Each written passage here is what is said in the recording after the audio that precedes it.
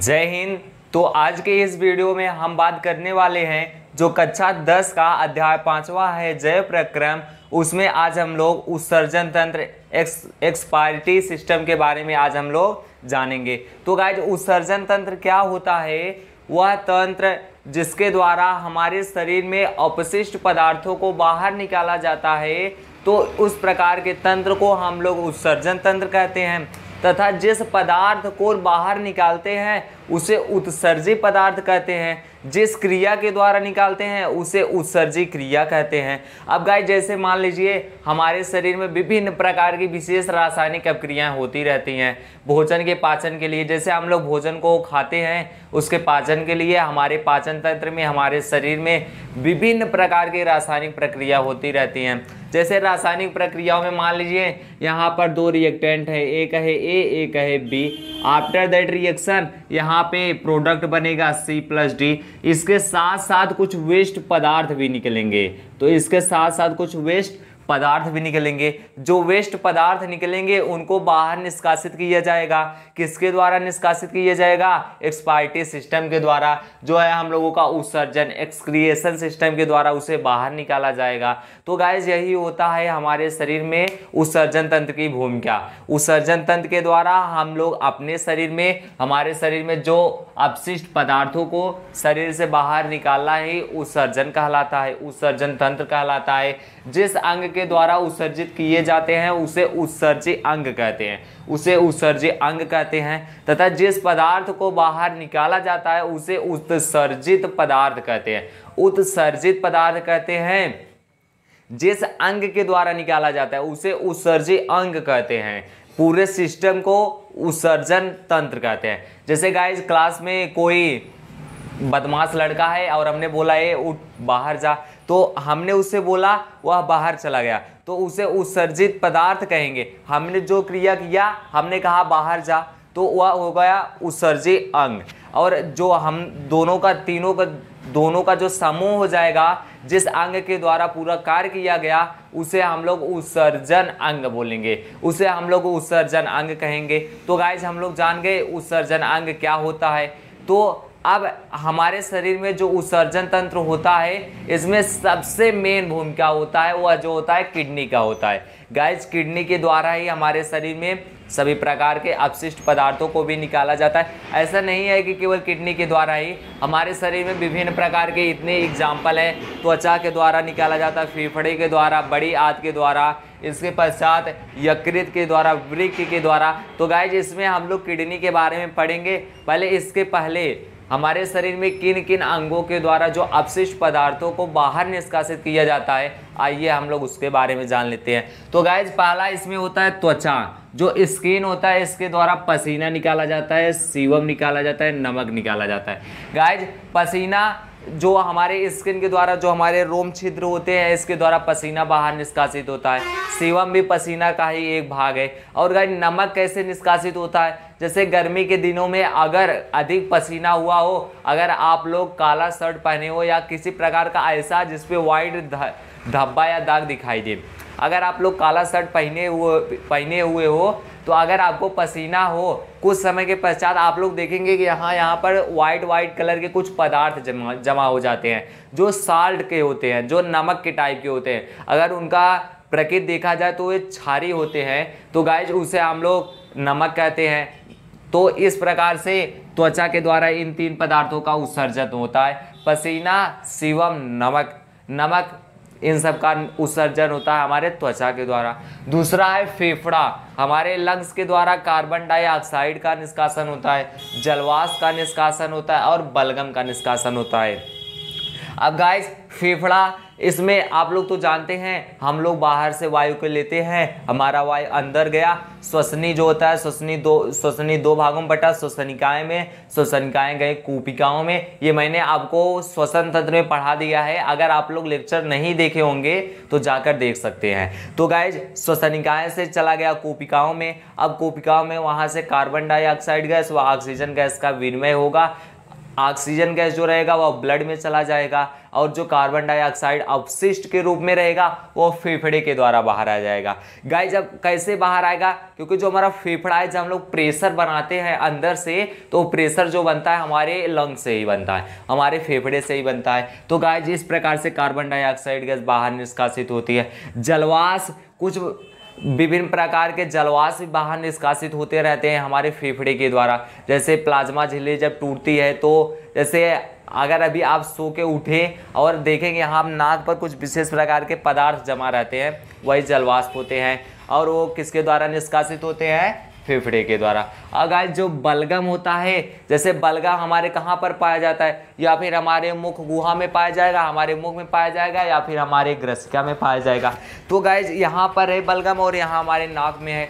तो अब वो बाहर कैसे निकलेगा? गाइज़ हमारा वायु अंदर गया और हमारे फेफड़े के द्वारा काफ़ी तेज़ी से प्रेशर बनाएगा। जब हम लोग तेज़ी से प्रेशर बनाते हैं तो जो फेफड़ा होता है, ये प्रेशर मारता है।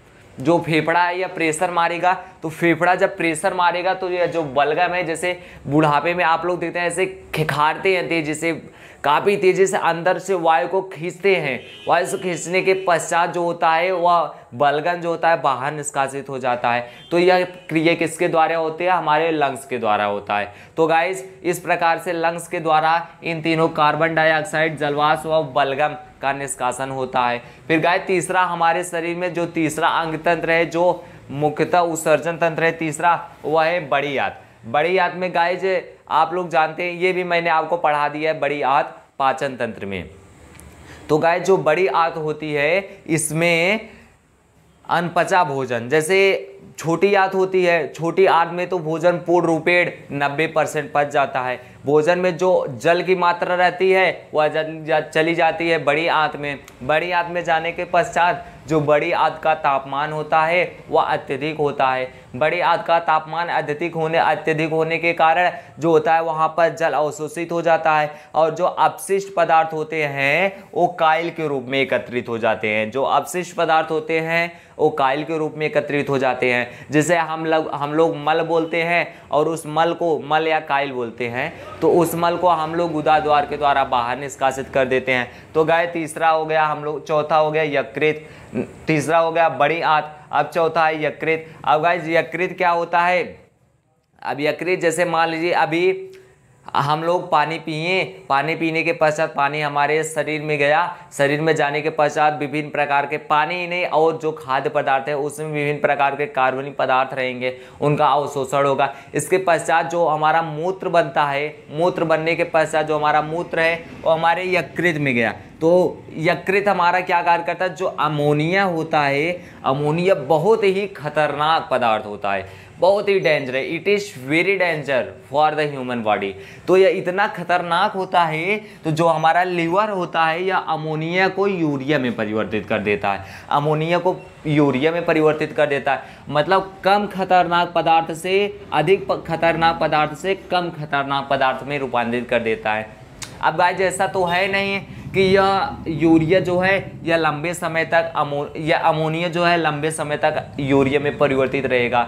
ऐसा नहीं है गाइज़ केवल जो यू, ये यूरिया बना है, जो अमोनिया से यूरिया बना है, यह यूरिया जो है, यह केवल दो से तीन घंटे के पश्चात फिर से यह अमोनिया बन जाएगा। फिर से अमोनिया बन जाएगा। तो गाइज़ इसीलिए हमारा जो मूत्र निष्कासन समय होता है, वह दो से तीन घंटे के अंतराल में लगातार बाहर निष्कासित होता रहता है। तो गाइज़ यहाँ पर जो यकृत लीवर का मेन कार्य है, यह अत्यधिक खतरनाक पदार्थ से उसे कम खतरनाक पदार्थ यूरिया में परिवर्तित कर देता है। अब गाइज़ यूरिया में परिवर्तित कर दिया। अब यह यूरिया के, यह जो यूरिया या हमारे किडनी में चला है। अब किडनी देखेगा हाँ भाई, ये यूरिया है, इसे जल्दी से बाहर निष्कासन करो। अगर ये रहेगा तो फिर यह जो यूरिया है, यूरिया से फिर अमोनिया को बना देगा। तो हमारा जो लीवर, जो हमारा किडनी होता है, किडनी इसमें भी विशेष प्रकार की कुछ संकुचन क्रियाएँ होती है और यह जल्दी से जल्दी हमारा जो किडनी होता है, जल्दी से जल्दी इसे बाहर निष्कासित करता है।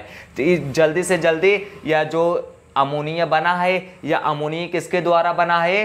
या जो अमोनिया है, यह यूरिया में परिवर्तित हो गया। तो जब ब्रिक देखेगा हाँ भाई, यूरिया आ रहा है तो यूरिया को जल्दी से बाहर निष्कासित करो। तो जो यह यूरिया को जल्दी बाहर, यहाँ, मूत्र निष्कासित नली, यूरेक्ट्रा के द्वारा बाहर निष्कासित कर देता है। तो गाइज़ इस प्रकार से हमारा यकृत जो होता है, यह अमोनिया जो अत्यधिक ही खतरनाक पदार्थ होता है, इसे यूरिया में चेंज कर देता है। और ऑल टाइम के लिए ओनली ओनली टू से थ्री आवर केवल दो से तीन घंटे के लिए इसे चेंज करता है। तो गाइज़ अब यह जो चेंज हुआ यूरिया हुआ या हमारे किडनी में आ गया। अब किडनी में आने के पश्चात किडनी जो है, इसे जल्द से जल्द निष्कासित कर देगा। इसे जल्द से जल्द जो यूरिया है, इसे यूरिन मूत्र के द्वारा, मूत्र यूरिन के रूप में जो यहाँ पर एकत्रित होगा, इसे मूत्र नली के द्वारा बाहर निष्कासित कर दिया जाएगा। तो गाय इस प्रकार के सिस्टम होते हैं हमारे उत्सर्जन तंत्र में skin lungs intestine liver kidney ए पाँच प्रकार के प्रक्रम है जिनके द्वारा हमारे शरीर में उत्सर्जन किया जाता है। तो गाइज़ हम लोग जान गए। अब गाइज़ हमारे जो उत्सर्जित तंत्र में मुख्य अंग है वह है हमारा किडनी तो गाइज़ आइए अब हम लोग किडनी को पढ़ते हैं। तो गाइज़ जो हमारा किडनी होता है, इसका वज़न जो होता है, जो हमारा किडनी होता है, इसका वज़न 150 से 170 ग्राम।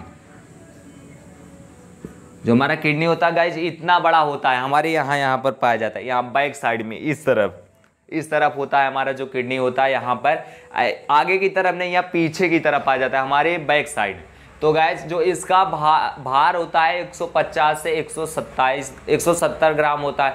और गाय इसकी लेंथ जो होती है वह होती है 10 से 12 सेंटीमीटर इसकी जो लंबाई होती है वह होती है 10 से 12 सेंटीमीटर और गाय इसकी जो चौड़ाई होती है वह होती है 5 से 7 सेंटीमीटर 5 से 7 सेंटीमीटर यह हो गया लंबाई। यह हो गया चौड़ाई और यह हो गया भार। तो गाइज़ इस प्रकार से होती है जो हमारा किडनी होता है, इसका भार 150 से 170 ग्राम। इसके पचास, इसकी लंबाई जो होती है वह 10 से 12 सेंटीमीटर होते हैं। जो चौड़ाई होती है वह 5 से 7 सेंटीमीटर होते हैं। और गाइज़ एक और छोटा मोटा बात आप लोग जानते ही होंगे कि हमारे शरीर में जो किडनी की संख्या होती है, वह दो होती है। हमारे शरीर में जो होती है, किडनी की संख्या, वह दो होती है। या जैसे मान लीजिए, लेफ़्ट हो गया और या राइट हो गया। तो गाय जो हमारा दाया किडनी होता है, यह लीवर के, यह लीवर की वजह से थोड़ा यहीं पे हमारा लीवर इस प्रकार से स्थित होता है। तो यह लीवर के दबने की वजह से, लीवर उपस्थित होने की वजह से यह थोड़ा सा नीचे दब जाता है। दाई किडनी से यह थोड़ा सा एक इंच नीचे होता है। दाएँ किडनी से एक इंच नीचे होता है। गाइस, यहाँ पर आप लोगों को दिख भी रहा होगा। और किसकी वजह से नीचे होता है? यहाँ पर इसके ऊपर लीवर पाया जाता है। लीवर की वजह से यह नीचे हो जाता है और यह, और जो दाया किडनी होता है, यह इससे ऊपर होता है। और गाय इसमें अधिवृक लगा होता है, जो मूत्र को सांद्रित करने में भूमिका निभाता है। इसके पश्चात गाय अब मान लीजिए यहाँ पर किडनी में जो हमारा किडनी है, यहाँ पर मूत्र आया। मूत्र को किडनी के द्वारा छानित किया गया। अभी हम लोग इसे आगे पढ़ेंगे। फिर इसके पश्चात गाय जहाँ मूत्र वाहिनी के द्वारा ये हमारे मूत्राशय में आ गया। या हमारे ब्लेडर में आ गया। अब गाय जो हमारा मूत्राशय है, अब गाय ऐसा तो है नहीं कि केवल यह यहाँ से अपने आप ऐसे निकलता रहेगा। हमारे शरीर में कुछ ऐसे सिस्टम है जो संवेदनाओं पे आश्रित है। संवेदनाओं पे आश्रित होने के कारण ही ये जब यहाँ पर अत्यधिक मूत्र एकत्रित होगा तो यहाँ से चेतना हमारे मस्तिष्क को आएगी। कि मस्तिष्क को आएगी तो हमारा मस्तिष्क जो है, इस पर कार्य करेगा, जिसके द्वारा मूत्र को बाहर निष्कासित किया जाएगा। ऐसा तो है नहीं, डायरेक्ट बना, डायरेक्ट बाहर चला जाएगा। ये तो गाय छोटे बच्चों वाली तब बात हो जाएगी। तो गाय यहाँ पर है जो मूत्रवाहिनी के द्वारा हमारे मूत्राशय में आया। हमारा मूत्राशय जो होता है, यह पाँच सौ लीटर तक या 500 लीटर तक जो है, मूत्र को एकत्रित कर सकता है। 500 लीटर तक। इससे अत्यधिक एकत्रित नहीं कर सकता है। अब गाय जब 500 लीटर एकत्रित हो जाएगा तो हमारे मस्तिष्क को चेतना जाएगी तो यहाँ पर कार्य करेगा। और जो हमारा है 500 लीटर मूत्र या मूत्र निष्कासित नली के द्वारा, जो यूरिक्ट्रा है, इसके द्वारा बाहर निष्कासित हो जाएगा। तो गाइज़ हम लोग जान गए, हमारा जो है एक्सक्रिएशन सिस्टम कैसे कार्य करता है। अब गाय जहाँ पर मैंने किडनी का, ये जो किडनी है, इसका आंतरिक भाग बनाए तो गाय जो किडनी के भाग होते हैं, वो तीन होते हैं। पहला होता है कॉटेक्स दूसरा होता है मेड्यूला और तीसरा होता है रेनम हाइलम रेनुअल हाइलम। पहला होता है कॉटेक्स दूसरा मेडुला तीसरा होता है रेनुअल हाइलम। तो गैज जो यहाँ पर होता है, यहाँ पर इसमें नाइट्रोजन की अत्यधिक मात्रा पाई जाती है। यहाँ पर जो होता है, नाइट्रोजन अत्यधिक मात्रा में होता है। नाइट्रोजन या यूरिया या यूरिक अम्ल। यूरिक अम्ल यहाँ पर अत्यधिक मात्रा में ही पाया जाता है। क्योंकि गाइज़ यहीं पर आता है, यहीं पर सांद्रित होता है मतलब यहीं पर क्षमता है तो यहाँ पर जो इम्यूनो, यूरी, यूरिक अम्ल की मात्रा होगी, यहाँ पर अत्यधिक होगी, और यहाँ पर कम होगी, यहाँ पर थोड़ा कम होगा, लेकिन यहाँ पर अत्यधिक होगा। तो गाइज़ यह हमारे वृक का, हमारे किडनी का आंतरिक भाग, इसमें तीन प्रकार की परतें पाई जाती हैं, कार्डेक्स, मेडुला, रेनुअल, हाइलम। यहाँ पर गाइज़ जो होता है, नाइट्रोजन व इमिनो अम्ल।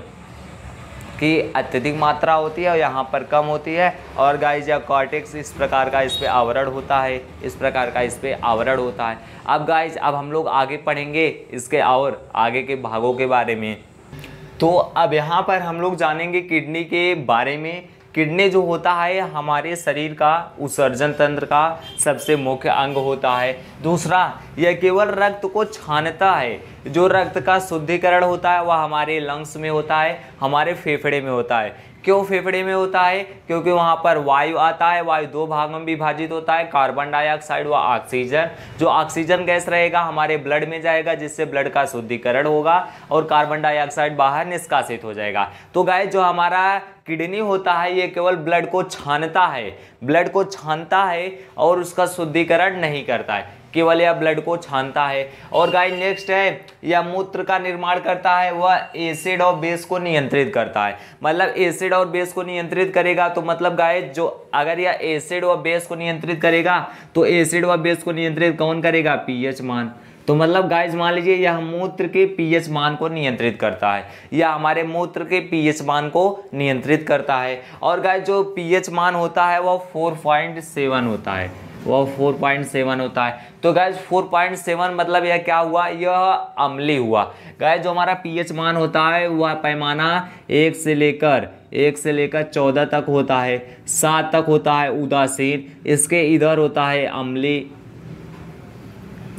इधर होता है अम्ली और इधर होता है छारी और सात जो होता है यह होता है उदासीन। तो गाय जिसका 4.7 मतलब जो हमारे मूत्र की प्रकृति होगी क्वालिटी होगी, यह 4.7 मतलब यह जो होगा, अम्ली होगा। इसके पश्चात गाइज़ और जो हमारा मूत्र होता है, मूत्र को कौन जो हमारा मूत्र है, इसको लीवर जो होता है अमोनिया जो अत्यधिक खतरनाक पदार्थ होता है, हमारा लीवर अमोनिया को यूरिया में परिवर्तित कर देता है, कम खतरनाक पदार्थ में, और जो हमारा यूरिया रहता है, वह आता है हमारे किडनी में, और किडनी की जो कोशिकाएँ होती हैं, वह इस प्रकार के पदार्थों को जब पाती हैं तो वे ऐसा कार्य करती हैं कि ताकि यह जल्दी से जल्दी यहाँ से बाहर हो जाए। क्लोज हो जाए। तो गाइज़ मूत्र जो होता है, वह अमोनिया से आता है किसमें यूरिया में। यूरिया के द्वारा यूरिन यूरिन में परि, यूरिन में परिवर्तित होता है। यूरिया जो होता है, वह बाहर निष्कासित हो जाता है।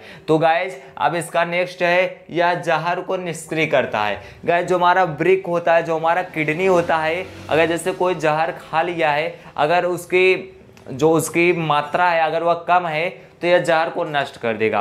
कोई भी प्रभाव उस पर नहीं पड़ेगा। गाय, जो हमारा किडनी होता है, यह जहर को नष्ट करता है और जो हमारा लीवर होता है, वह गाय, अगर कोई भी व्यक्ति, मान लीजिए जैसे कोई भी व्यक्ति जहर खाकर मरा है तो हम लोग कैसे पता लगाएँगे कि इसका तो इस प्रकार के प्रक्रम में ये देखिए कि मतलब कौन सा अंग ग्रसित होगा।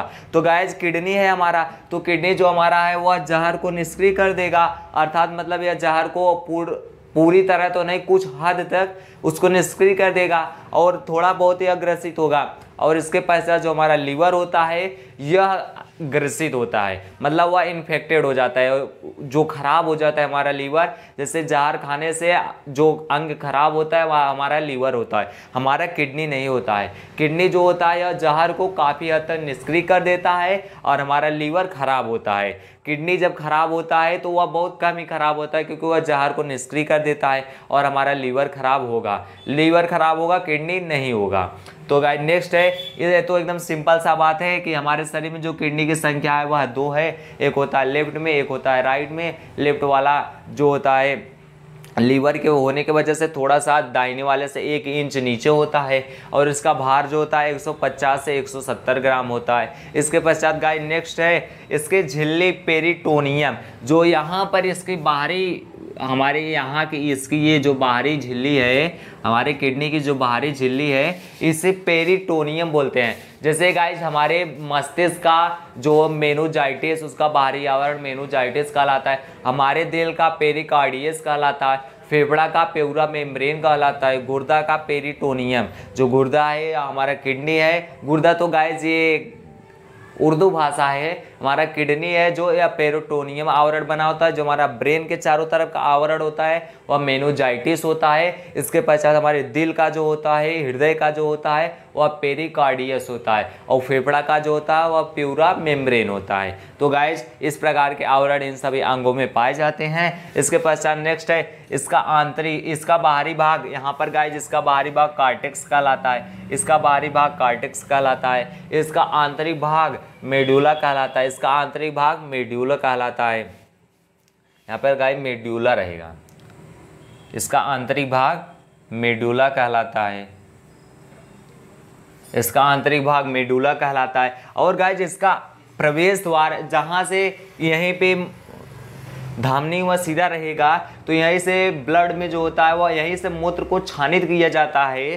तो गाइज़ यहाँ पर जो प्रवेश द्वार होगा, यहीं पर अमोनिया की अत्यधिक मात्रा होती है।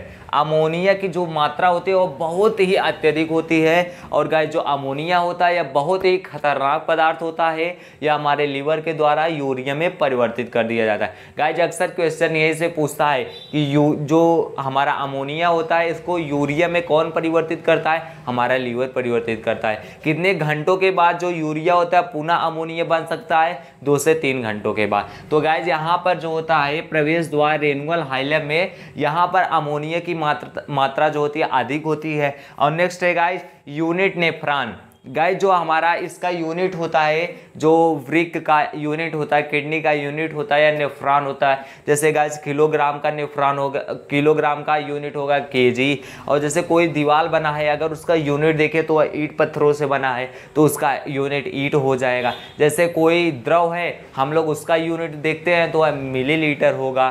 और किलोग्राम कोई भार है, द्रव्यमान है, उसका किलोग्राम होगा।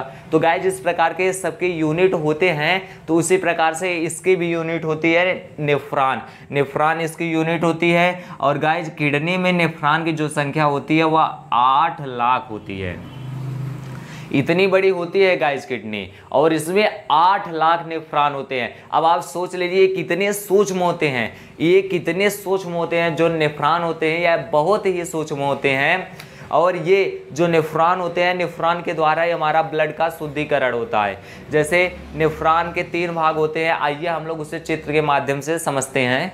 तो गाइज़ हम लोग जो नेफ्रॉन नेफ्रॉन जो होता है, किडनी की इकाई होती है, इसका अध्ययन जो होता है, नेफ्रोलॉजी कहलाता है। अगर गाय हम लोग नेफ्रॉन का अध्ययन करते हैं तो उसे नेफ्रोलॉजी बोलते हैं। उसे जो अध्ययन करता है, जो अध्ययन, उसका अध्ययन होता है, वह नेफ्रोलॉजी कहलाता है। और जो अध्ययन करता होता है, उसे नेफ्रोलॉजिस्ट, जो नेफ्रॉन के डॉक्टर होते हैं, उसे हम लोग नेफ्रोलॉजिस्ट बोलते हैं। और हमारे नेफ्रॉन का अध्ययन नेफ्रोलॉजी कहलाता है। तो गाय यहाँ पर है हमारे नेफ्रॉन की संरचना। ये हमारे किडनी में जो होते हैं, इनकी संख्या आठ लाख होती है। इनकी संख्या आठ लाख होती है। ये इतने छोटे हैं कि इन्हें सूक्ष्मदर्शी के द्वारा देखा गया है। ऐसे तो ये दिखाई ही नहीं दे सकते क्योंकि किडनी इतना ही बड़ा है।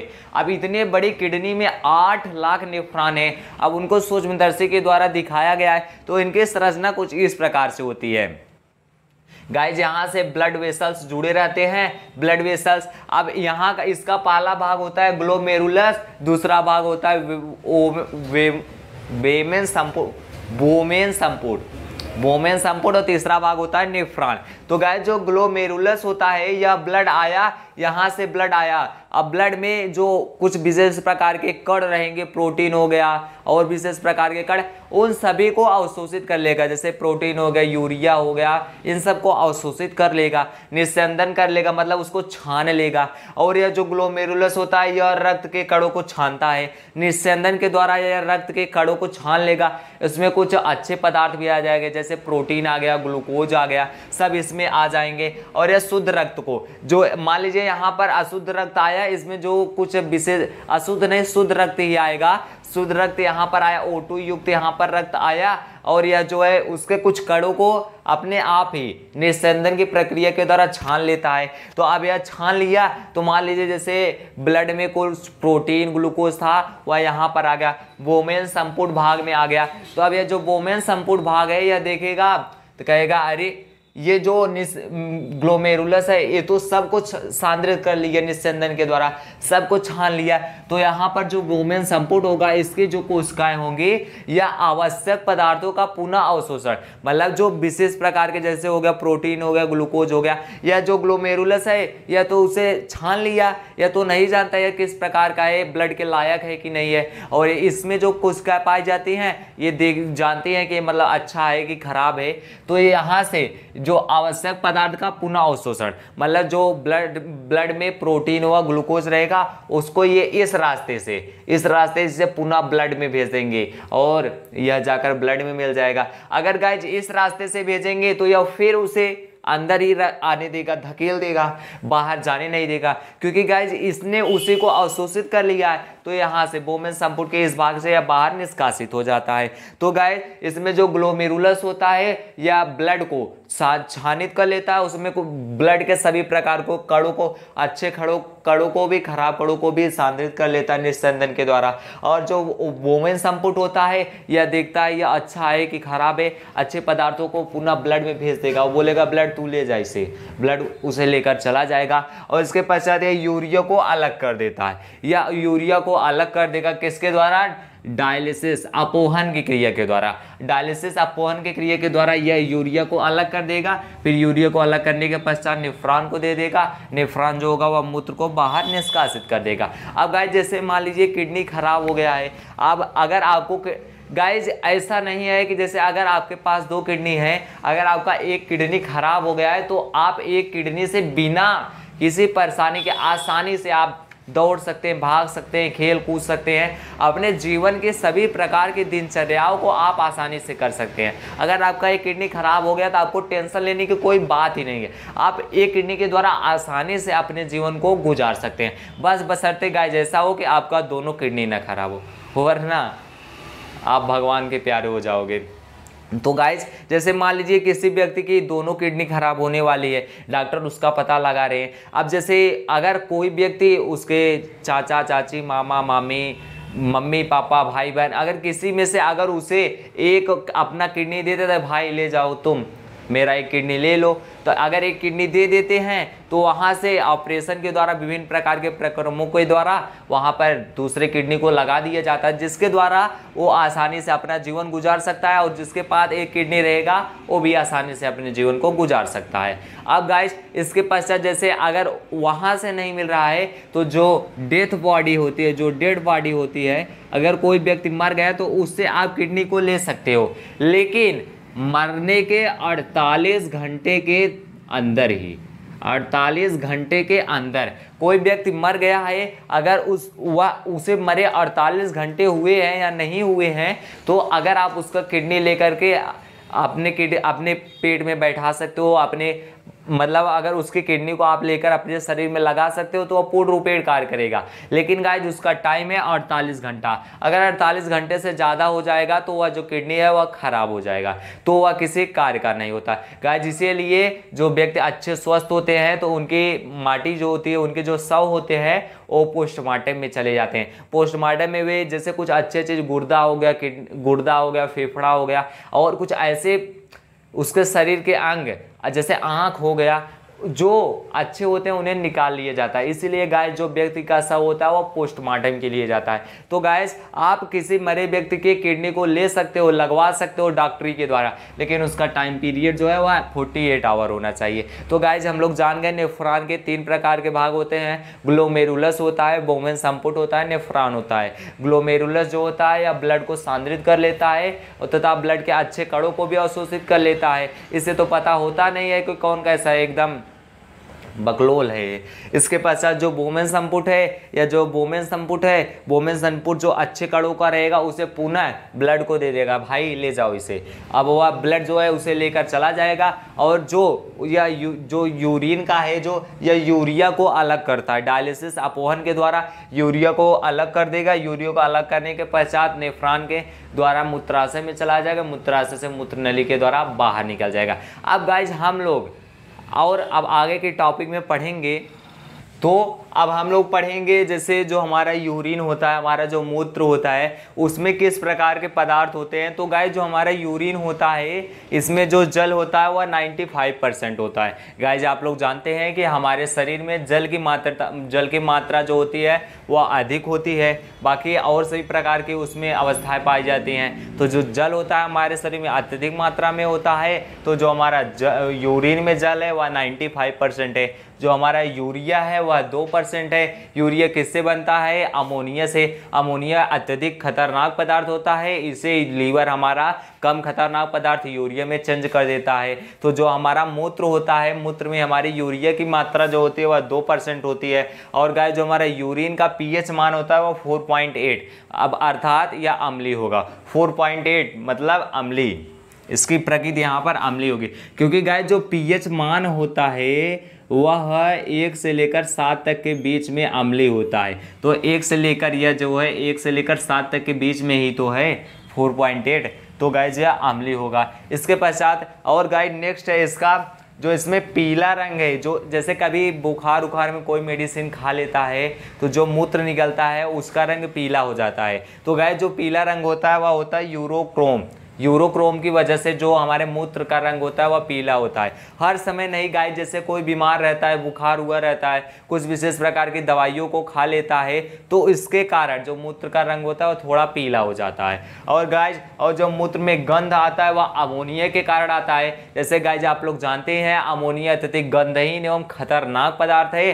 जैसे मान लीजिए हमारे शरीर में जो यह मूत्र निकला, यह तो निकला किसके अवस्था में? यूरिया के अवस्था में। लेकिन यह जो यूरिया है, फिर से दो तीन घंटे के बाद अमोनिया में चेंज हो जाएगा। तो जो यह अमोनिया है, तब गंध अमोनिया बहुत ही गंधहीन पदार्थ है। तो जिसके कारण जैसे कहीं पर जो वहाँ पर है, अत्यधिक गंध होने लगेगा। और वह किसके कारण होगा? अमोनिया के कारण होगा। तो गाइज़ यह होता है हमारी यूरिन में। इन सब की मात्रा, जल, यूरिया पीएच उसका प्रकीर और उसका रंग कैसा होता है? पीला, यूरोक्रोम के कारण होता है और उसका गंध जो आता है, अमोनिया के कारण। अब गाय नेक्स्ट है जो किडनी में डिज़ीज़ होते हैं। किडनी की बीमारी। किडनी में तीन प्रकार की बीमारी होती है। गाय जैसे पाला हो गया स्टोन पथरी। किसके कारण होता है? Calcium oxalate. गाय जो पथरी होता है, वह कैल्शियम ऑक्सीलेट के कारण होता है। या हमारे किडनी में जब यह पदार्थ एकत्रित हो जाता है, कैल्शियम ऑक्सीलेज तो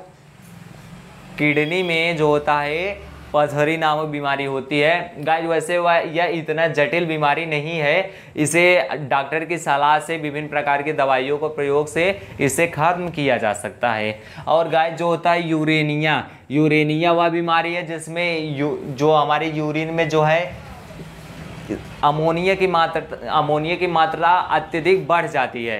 अमोनिया की मात्रा अत्यधिक बढ़ जाती है, जिसके कारण व्यक्ति जब मूत्र निष्कासित करता है तो वह पूर्ण रूपेण यूरिया में चेंज नहीं हो पाता, जिसके कारण बहुत ही अत्यधिक गंध आता है। तो गाय यह बीमारी होती है यूरेनिया, किसके कारण? अमोनियम जो वृद्धि हो गई। और गाय नेक्स्ट है गाठिया। गाठिया जो है, यह यूरिक अम्ल है। गाठिया जो यूरिक अम्ल। अब गाय जो हमारा गाठिया है, गाठियों में विशेष प्रकार के द्रव पाए जाते हैं। जो इन्हें ऐसे सिकुड़ने में समझ लीजिए, जैसे इसका तेल ग्रीस है। जैसे हम लोग ऐसे सिकुड़ते हैं ऐटते हैं, कोई प्रभाव नहीं पड़ता। तो गाय जब इसमें यूरिक अम्ल की अत्यधिक मात्रा हो जाएगी, यह अवस्था आपको देखने के मिलेगी बुढ़ापे में। गाय जो बुढ़ापे लोग होते हैं, जब वो लोग बैठते हैं, लकड़ी के सहारे बैठते हैं, और उनका हड्डी कभी कभी चट चट चट चट ऐसे करके आवाज़ें निकलती हैं। गाय जो जो हड्डियाँ हैं, वो अपने में रगड़ रही हैं, क्योंकि वहाँ पर जो तेल ग्रीस का पदार्थ है, वह प्रेजेंट नहीं है। तो इसलिए गाय यहाँ पर जो होता है, यहाँ पर यूरिक अम्ल अत्यधिक बढ़ जाता है, जिसके कारण गाठिया नामक बीमारी हो जाता है। गाठिया नामक बीमारी में व्यक्ति की हड्डियाँ आपस में रगड़ने लगती है, तथा वहाँ का जो तेल ग्रीस वाला पदार्थ होता है, वह खत्म हो जाता है, जिसके कारण उन्हें बैठने उठने में तमाम प्रकार की क्रियाओं में अत्यधिक दर्द होता है। इसके पश्चात गाइस अब मान लीजिए यह सब तो सामान्य बीमारियाँ हैं। ऐसा हो कि व्यक्ति की दोनों किडनियाँ ही खराब हो जाए तो गाय जिससे व्यक्ति की जान जा सकती है। तो इसके लिए गाय जैसे मैंने आपको पहले बताया कि अगर आपकी किडनियाँ खराब हो गई हैं तो आप किसी स्वस्थ व्यक्ति से किडनी को लेकर के आराम से रह सकते हैं। अपनी जीविका अर्जित कर सकते हैं। क्योंकि गाय एक किडनी के द्वारा भी व्यक्ति आसानी से जी सकता है, उसके जीवन में कोई प्रभाव नहीं पड़ने वाला है। और अगर ऐसा नहीं हो पाता, अगर आप किसी डेड बॉडी से किडनी को लेना चाहते हैं तो उसका जो टाइम होता है वो 48 आवर 48 घंटे के आवर अगर आप उस व्यक्ति की किडनी को निकालकर अपने शरीर में सेट कर लेते हैं तो जो वह किडनी होता है, वह पूर्ण रूप से कार्य करता है। तो गाय जिस प्रकार की क्रिया होती है हमारे किडनी में। अब गाय हम लोग पढ़ेंगे मुख्य उत्सर्जी पदार्थ, जैसे पादम में क्या होता है, और हमारे शरीर में इन सभी प्रक्रियाओं में विभिन्न प्रकार के वर्गों में कैसे होता है, आइए हम लोग इसके बारे में जानते हैं। तो गाय जो पादम में उत्सर्जी पदार्थ निकलता है, वह लाशा या गोद के रूप में निकलता है। लाशा जैसे गाय मान लीजिए या कोई पेड़ है या कोई पेड़ है, और या कोई पेड़ है? अब गाय ये कोई पेड़ है और अगर आपने यहीं पर, अगर आपने यहीं पर, अगर इसे कुल्हाड़ी से यहाँ पर अगर मार दिया, कुल्हाड़ी से मार दिए कुल्हाड़ी से मार दिए। कुछ दिनों के बाद यहाँ पर आप देखेंगे, कुल्हाड़ी से यहाँ पे अगर इससे आप काट दिए, कुछ दिनों के बाद देखेंगे, वहाँ से कुछ लाशा टाइप का पदार्थ निकलने निकलने लगता है। तो गाय जो है लाशा टाइप का पदार्थ निकलता है, वही इसमें मुख्य उत्सर्जी पदार्थ होता है। और गाय जैसे आप बरसात के दिनों में देखते हैं, जो ये पेड़ पौधे होते हैं, जब यहाँ पर वर्षा ऐसे से होती है तो यहाँ पर इनके यहाँ कुछ विशेष प्रकार का व्हाइट व्हाइट कलर के पदार्थ जमा हो जाते हैं। और विभिन्न प्रकार के घास फूस के पौधों में भी पाए जाते हैं। तो गाय जो है गाज के माध्यम से यहाँ पर उत्सर्जी पदार्थ निकलते हैं। और गाय दूसरा, यूरियोटेलिक यूरियोटेलिक यूरिया। गाय उत्सर्जी पदार्थ जैसे यूरियोटेलिक यूरियोटेलिक उत्सर्जी पदार्थ में यूरिया निकलता है। यूरियोटेलिक में यूरिया निकलता है। अब यह यूरिया किस प्रकार के वर्ग के जंतुओं में निकलता है? तो यह स्तनधारियों में निकलता है। स्तनधारियों में निकलता है। अब गाय स्तनधारी में जैसे आ गए, मनुष्य आ गए, पशु आ गए। स्तनधारी में मनुष्य और पशु आ गए।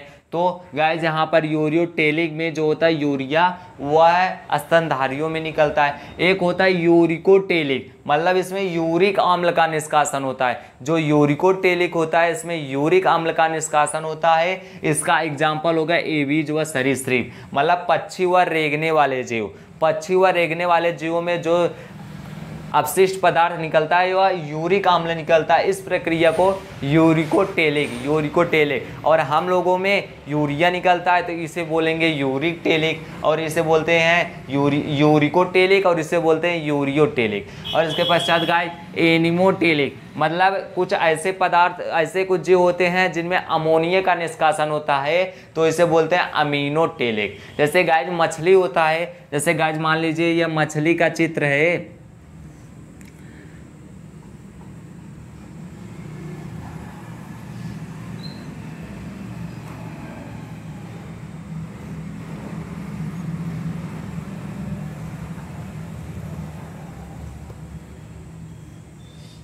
जैसे गाइज़ ये मान लीजिए मछली का है ना?